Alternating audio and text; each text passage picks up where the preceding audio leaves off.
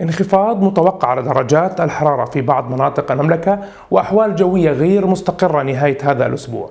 التفاصيل بعد هذا الفاصل في النشرة الجوية الأسبوعية.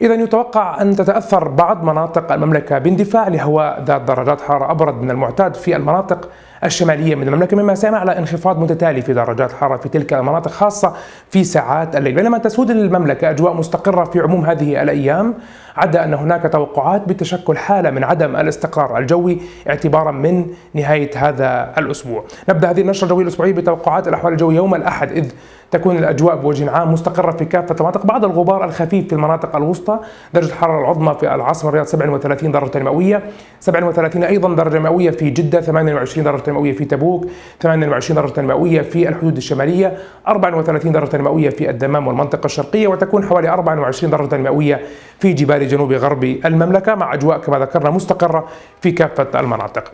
يوم الاثنين لا تغييرات هامة على الحالة الجوية سوى أنها ستنخفض درجات الحرارة بشكل لافت في المنطقة الوسطى كما ذكرنا والشرقية بالإضافة لانخفاض درجات الحرارة في ساعات الليل. في المناطق الصحراوية المكشوفة والمفتوحة في مناطق عدة من شمال المملكة.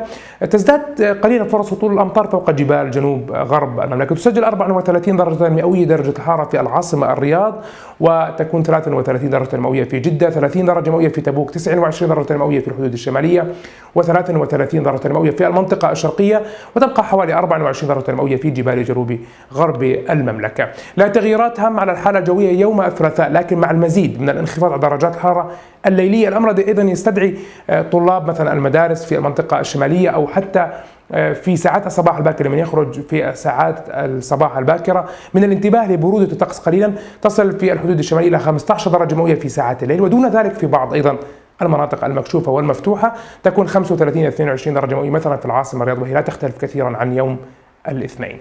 يوم الأربعاء يتوقع أن تزداد فرص هطول الأمطار الرعدية في جبال جنوب غرب المملكة. ذلك ناتج عن تدفق لرطوبة قادمة من بحر العرب عبر اليمن باتجاه المملكة. هذا الأمر سيعمل على هطول زخات رعدية من الأمطار في جبال جنوب غرب المملكة. بمشيئة الله تعالى مع انخفاض درجات الحراره تصل إلى 23 درجة مئوية؟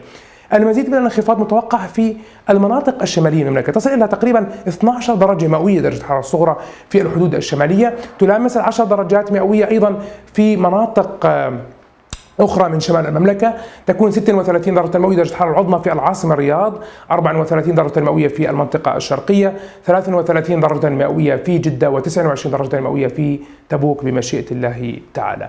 يوم الخميس يتوقع امتداد هذا الحزام الرطوبي نحو المناطق الشمالية من المملكة. الأمر هذا سيعمل على ازدياد فرص هطول بعض الزخات الرعدية من الأمطار في المناطق مناطق الحدود الشمالية من المملكة. غير واضح بالضبط هذه المناطق المشمولة كلما اقتربت المدة يمكن تحديد ذلك لكن واضح أن المنطقة الشمالية من المملكة على موعد مع أحوال جوية غير مستقرة نهاية هذا الأسبوع. تتمثل بفرص لهطول الأمطار الرعدية وازدياد في سرعة الرياح وربما أيضا بعض الأتربة المثارة. تبقى فرص الأمطار الرعدية أيضا قائمة في المنطقة الجنوبية الغربية من المملكة ولا تغييرات جذرية على درجات الحرارة.